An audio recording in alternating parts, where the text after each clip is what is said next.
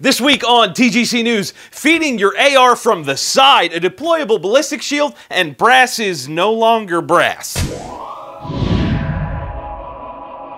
TacPack offers some of the highest quality tactical and EDC gear in a monthly package shipped right to your door. They aren't focused on sending you a bunch of crap. They want to make sure that you get gear you will actually use, featuring things like knives, tourniquets, multi-tools, AR-15 parts, and survival gear. TacPack is bound to have gear that you're going to love. If you order right now, you can get either a free hat or a free multi-tool by using the code TGCHAT or TGCTool at TacPack.com.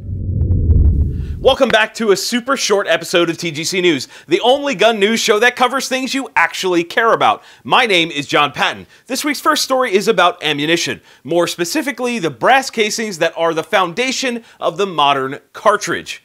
We've been using this concept since the later 1800s. That's what we're all used to with ammo. We've seen improvements in processing, creation, and handling of brass, but the metal itself remains the same. Well, now there's a new kid on the block that's making people think twice about calling those casings by their former name. Say hello to the Shell Shock Technologies NAS3 or NAS Cubed casings. These are a two-piece design. The front, where the powder and bullet would go, is made of a nickel stainless steel alloy. The case head itself is made of a nickel-plated aluminum. Shell Shock Technologies is making some really, really hefty claims that, quite frankly, make me excited but kind of skeptical. Claims include things like the cases being half the weight of brass, which kind of sounds irrelevant, but when you have thousands of these things together, it matters. Then you have claims like higher corrosion resistance, which makes sense with the alloy, and then they also claim higher internal volume, higher potential velocities, more reloads per case, no trimming required because the material doesn't stretch. The case heads can be anodized, which is cool for quick IDing on the range,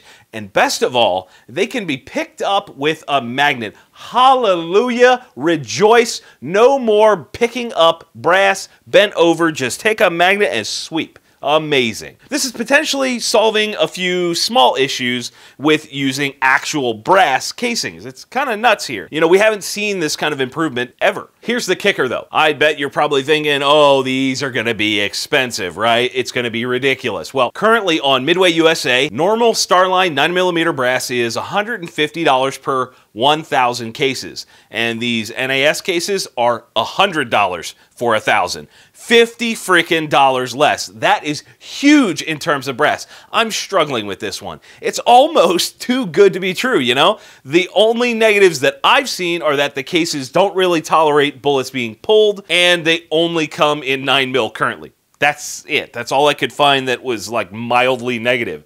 I think this is going to become a serious contender if more people start adapting these and loading ammo in them, and we see more and more of these come into the market. I think that's when it's going to make an impact, if it's going to. These are so new that there's not really enough data to convince me that this is absolutely going to put brass to shame, but from what I've seen, it's got the best chance possible.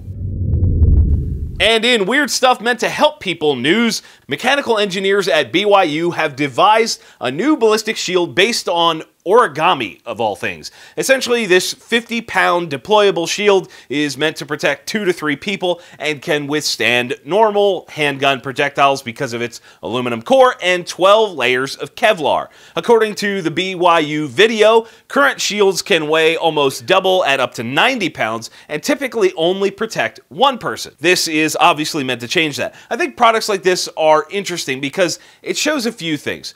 First is out of the box thinking with the shape and deployment of the idea, but it also shows that first responders have not been forgotten and improvements are still being made to potentially save lives. Going into writing this segment, I was a little concerned. A while back on TGC News, I did a segment on a deployable shield called the Minuteman, and it was kind of a mess. It was floppy and the material didn't really seem like the proper choice. I was hoping not to see a repeat of that. The Minuteman was only meant to protect one person and had a much different deployment method, but at the core it was a similar concept, and I hoped we didn't go down that road again. The slow motion video obviously shows this thing working as intended, and reports are that the FBI and similar law enforcement groups are really, really liking it so far. What do you guys think? Is this new shield going to be the next big deal in deployable ballistic protection, or is it going to fold. Get it? Huh? oh, okay. I see what you did there. Cleaning a gun stinks unless you're using Breakthrough Clean's odorless and non-staining solvents and lubricants to tackle your gun cleaning needs. Be sure to check out their military grade solvent, Battle Born oil and grease, or even the HP Pro for extreme conditions. If you asked and your local shop isn't carrying them, head on over to breakthroughclean.com and use the code TGC10 to get 10% off your order.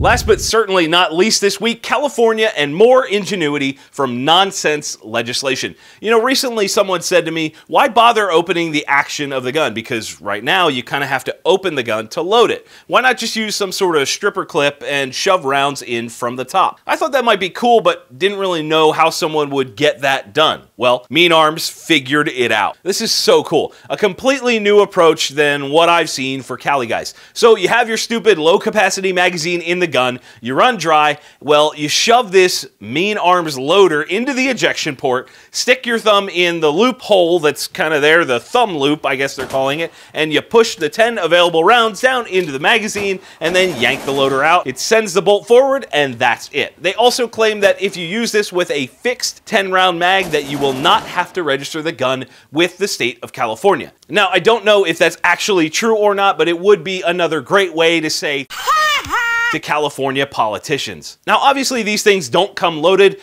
but it's very simple. You just pop the rounds in and it just stacks nice and tight. There's no spring because it's not a magazine. This is a really cool idea executed really well. Now, Here's the issue. The MSRP is $39.99 for one of these things, and it won't be shipping until April. That's pretty damn expensive considering in the free states we can get a 30 round magazine for 10 bucks a pop, but it is slightly cheaper than other options for some of the California compliant slash rebellious products on the market right now. I'll be real interested to see how these things hold up to real world use, but they do show promise in the demos that I've seen so far. And just for fun, here's that same guy shooting a machine gun one more time.